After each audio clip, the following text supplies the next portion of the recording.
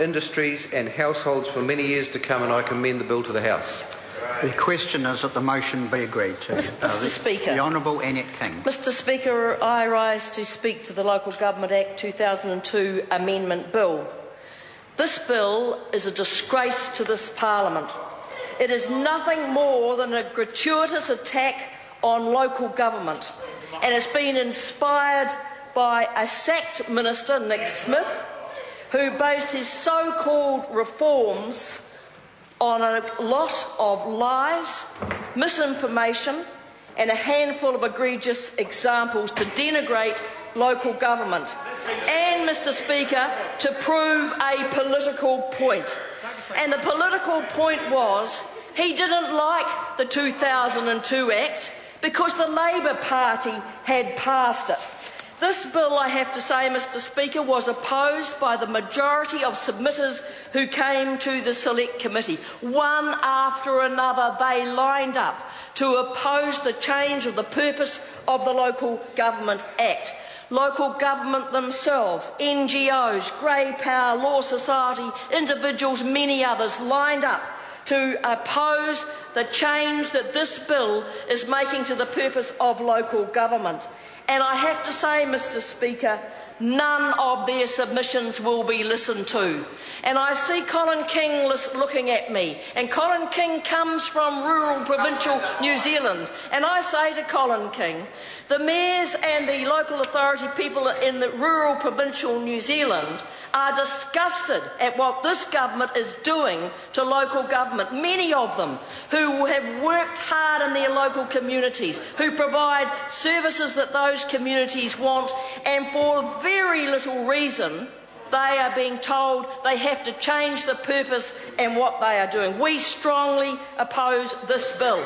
And I have already tabled two supplementary order papers. And I thank my colleague Charles Chauvel, who, when I asked, immediately had them written and I had them tabled so we can show this government that we will not support these changes that are not based on facts, not based on evidence, but based on a whole lot of myths and a story that has been spun by Nick Smith. And those two SOPs, Mr Speaker, is to restore the four well-beings back to the purpose of the Local Government Act, the four well-beings of social, environmental, economic and cultural, which have been in the Act since 2002, and I will talk more about that in a moment. The second supplementary order paper will be to restore the uh, requirement of a poll of electors in an affected affected area to be held when the local government commission decides on a final proposal for local government reorganisation, the foundation stone of democracy that you allow local people to have a local say, Mr Speaker.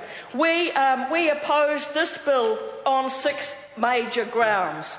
The first is that there is absolutely no evidence, no evidence provided by the government that, that we need to change the purpose of the Local Government Act. There was no evidence provided that we should get rid of the four well-beings. And let me tell the member who knows nothing about this bill, otherwise he wouldn't, otherwise he wouldn't be chirping. I say to him, go and read the regulatory impact statement from your own government department who wrote on this bill, and I'll read it. There is no clear quantitative evidence to suggest the Local Government Act 2002 has resulted in a proliferation of new activities or that local government is undertaking a wider group of functions. The very reason Nick Smith gave for changing the purpose was that local government had got way outside its scope and they were providing services they ought not. There is no quantitative evidence, and that comes from the Minister's own department. I had a survey of local government around New Zealand and asked them what had they added to their core services since the passage of the 2002 Act. One council, one council re replied that they might be doing one thing that might not be considered a core service by local government. There is no evidence to change the purpose. And if a government ever listens to submissions, if they even take the slightest bit of notice of submissions, over, well, always listening, well, I will look to see if the member for Tauranga votes with this side of the House on leave, putting back the four well-beings because the member from Tauranga needs to know that nearly every submission to the Select Committee said leave the world, four well-beings alone. And local government New Zealand itself, at its conference in Queenstown this year, voted unanimously to leave the purpose of the Local Government Act alone. And will the government listen? Mr King, have you had any influence on your, the government? Have the rural members had any influence over this government? I, I predict not, not a dicky bird. They will not change a thing when it comes to the purpose of this Act. The second thing, Mr Speaker, is it has been based on misinformation and it has been based on a very small number of egregious examples as to why we should change local government. And some of those examples were around the debt and the cost of local government. And it was uh, we've been provided with information as recently as October 2012 from, a, from research that was done by the New Zealand Institute of Economic Research entitled Is Local Government Fiscally Responsible?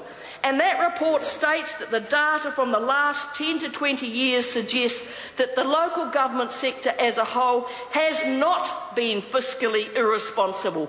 Rates and spending have risen, but the increases are not startling relative to GDP or property values. At an aggregate level, investment and borrowing cannot be said to have been irresponsibly high. Debt levels, debt is low relative to assets, capital spending is steady relative to the asset base, debt servicing costs are at a responsible level. Now, that's not the opposition saying that, that's not local government saying that, that comes from work comprehensive work done by the New Zealand Institute of Economic Research. That blows out of the water this argument that local government has been fiscally irresponsible and that they need to be reined in. The third reason, Mr Speaker, is this bill has been rushed. It was written before there was sufficient evidence gathered to support the changes. And that is in the regulatory impact statement from the Department of Internal Affairs. They said there is a risk as to whether the proposals will even work. They said there would be significant sector reaction, that the time frame in which the proposals have been developed has restricted the ability to assess multiple options, and the assumptions have not or only been partially tested. That's what this bill is based on partially tested or untested assumptions. It has not been properly thought through. It is based, it is based Mr. Speaker, on the idea of Nick Smith who wants to punish local government. The fourth reason, Mr Speaker, is the whole bill has been done back to front. It's an eight-point plan from the national government called Better Local Government.